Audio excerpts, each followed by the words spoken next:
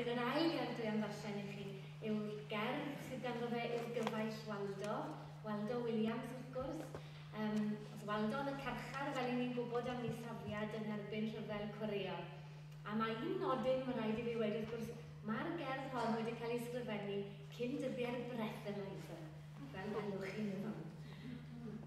Does arno ni ddim cwili yma yng Nghymru lan am Suez a Chorea ac am y niwclear dan, Nid ni fi'n ffrwydro'r bomiau a lledu'r gwenwyn man.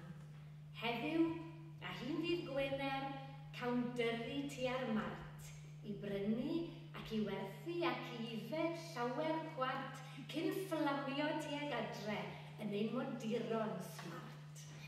A heno, yn y gweithau a hyn nos Wener Tal, cawn daro gwadn ddiofal i'r rhythmau'r music sal.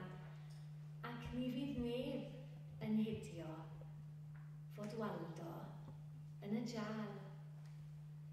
Yng ngharchar Abertawe, mae'r bardd a'i ddwylo mhleth.